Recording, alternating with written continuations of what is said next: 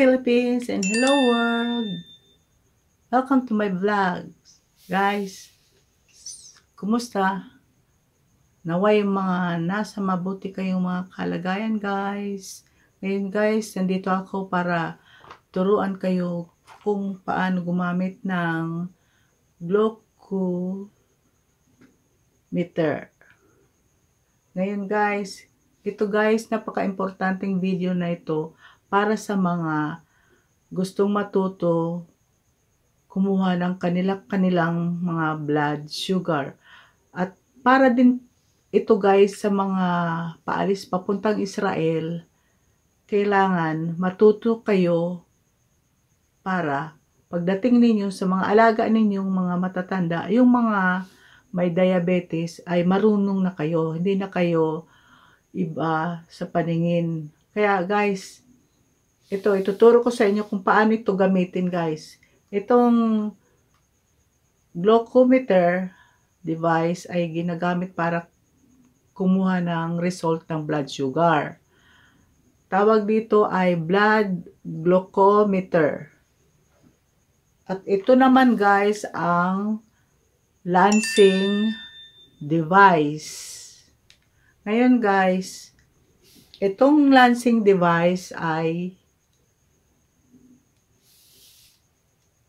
binubuksan. Ito twist mo lang ito guys. Ginagamit ito para sa pangtusok sa daliri guys. Ito naman guys, ginagamit ito, tawag dito, lancet. Ito ay ipinapasok dito guys.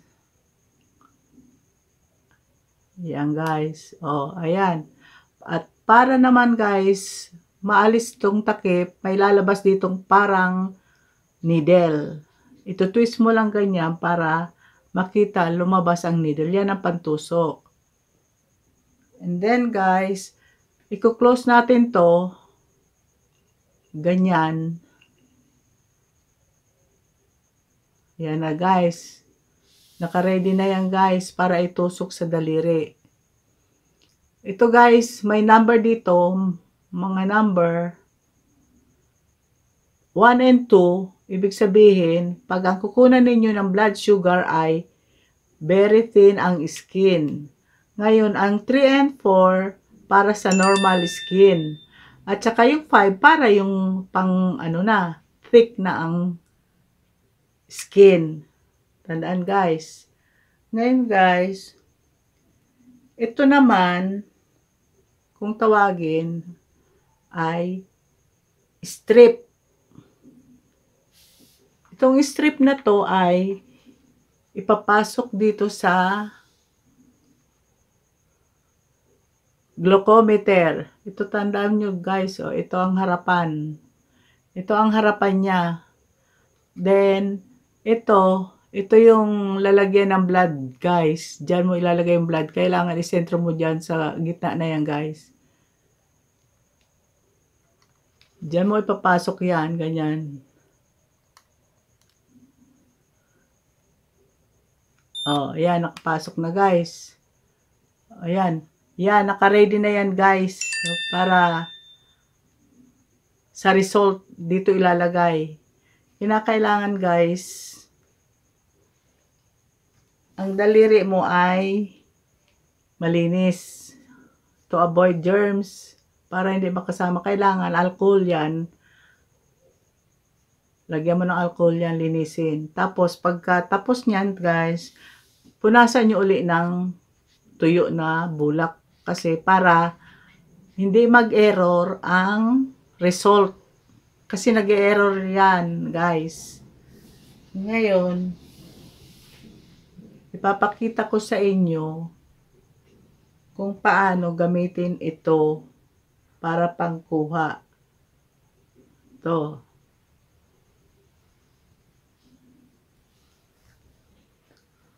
Tusukin ko mamaya-maya guys. Pa ay papakita ko sa inyo guys kung paano ang result guys.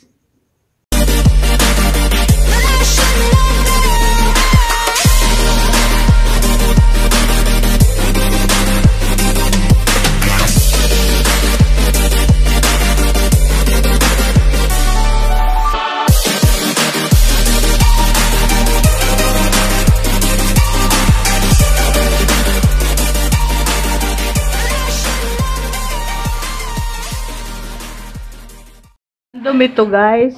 Yung once na kumain ka, kailangan after mga 2 hours, tawag diyan ay random.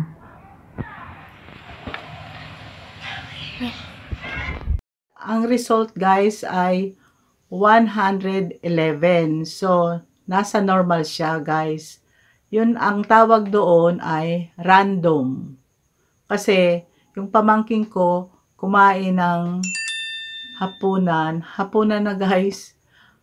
Kumain na after 2 hours. Yan ay random pero nasa normal po. Yan guys, tandaan nyo. Yung gustong magpapakuha ng blood sugar for fasting, kinakailangan, kakain lang kayo hanggang 11 p.m. Stop na yon hanggang kinabukasan na. Ngayon, hanggat hindi pa kayo nakukunan ng blood sugar, huwag muna kayong kakain. Ngayon, pagkatapos nyo kunan ng blood sugar, pwede na kayong kumain. Kaya magdala kayo ng biscuit ninyo o kaya inumin. Pwede na kayong kumain. Yan ay fasting. Ang fasting naman ay uh, simula ang result ay nasa 72 pataas hanggang 100. Yan sa fasting. Ngayon, yung mga gusto naman malaman, pwede naman yung random. Ang random ay simula sa 100 hanggang 140 siya. Normal pa rin yun, guys. Tandaan nyo.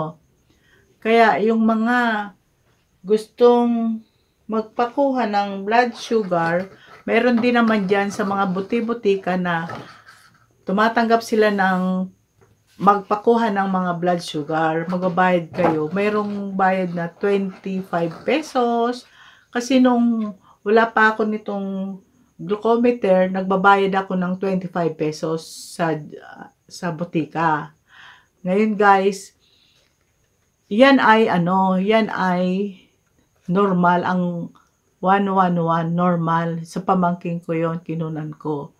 Ngayon guys, kung gusto nyong malaman ang inyong mga blood sugar, kung mayroon kayong mga symptoms, mga nakikita nyo sa sarili nyo na mga may bumubula-bulang ano, sa ihi nyo, mga paan ninyo may mga tumutusok-tusok, namamanid-manhid, magpa-blood sugar kayo, wala naman masama. Pwede kayong pumunta sa mga butika para malaman nyo yung ano, blood sugar nyo. Okay lang yung guys, huwag kayong matakot. Ngayon, kasi ito ang masasabi ko sa inyo, ito ang pinaka-low, ang low, nagsisimula guys sa 20 mgdl hanggang sa 70. Low yan.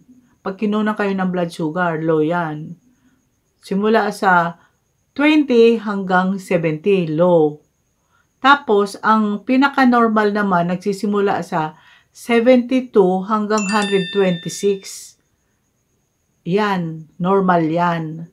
Ngayon, ang nasa borderline ay nasa 120 158 hanggang 180 ay normal yan. Ngayon, ang nasa borderline, guys, nagsisimula sa 120 hanggang 180. Yan. Pero naman ito, guys, na high ay nasa 182 hanggang 248 nasa high na yan. Kaya, itong pinaka-risky, dangerous na talaga guys, nasa 250 mgdl hanggang 600 na yan guys. Napaka-dangerous na yan. Kaya, pwede na kayong pumunta sa, kung halimbawa nagpakuha kayo sa butika, pwede na kayong magpunta sa doktor yun guys, para magpakonsulta. Kasi guys, kung talagang gusto nyong malaman ang pinaka pinaka accurate talaga kung diabetes na talaga, ang doktor ay may sinasabing A1C. kinakailangan malaman ninyo yung A1C ninyo. Doon yun ang nalalaman kung talagang may diabetes na kayo. Kaya sasabihin niya ng mga doktor, ng doktor sa inyo. Yung mga paalis papuntang Israel, kailangan matuto kayo gumamit nitong glucometer kasi yung mga pasyente ninyo, yung mga alaga ninyong matatanda, kung may diabetes, kinakailangan talaga responsibilidad ninyo na kayo ang kukuha niyan, mga guys. Tandaan nyo. Para hindi na iba sa inyong mga mata, kaya kailangan matuto kayo nito. Harinawa itong video na to makatulong sa inyo sa mga aalis at sa at saka sa mga mga kababayan ko na gustong magpakita ng kanilang mga blood sugar, pumunta kayo sa mga butika kung wala kayong mga mga device na ganito, yung glucometer, pwede kayo magpatingin. Huwag niyong baliwalain yan mga guys. Kinakailangan talaga na maprotektahan ang inyong mga sakit, lalo na po ang blood sugar. Kasi nagkakaroon yan guys ng mga mga ano sa ibang part ng katawan. May mga sisirain, mga kidney, mga basta yung parts ay sinisira niya pagka hindi niyo na kung paano gumamit noon guys. Yan ang ano payo ko sa inyo. Okay guys, hanggang dito na lang guys. Harinawa, nasundan ninyo ang aking itinuro. At saka, kinakailangan talagang malaman ninyo ang inyong mga blood sugar. Okay guys, don't forget to watch. Subscribe kayo naman guys. Likes, share, comments, and ring the bell button for the notification for my next video. Okay guys, keep safe. Thank you and God bless. Bye.